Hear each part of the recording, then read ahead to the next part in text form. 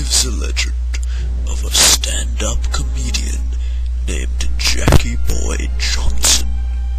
He had a lot of fans and an awesome haircut until corrupt and powerful Conan O'Brien destroyed his life. And my Danko, get mercy on yourself. Fifteen years.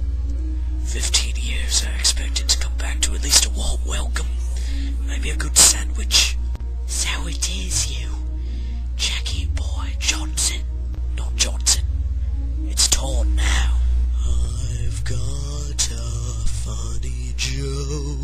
Sweeney Todd.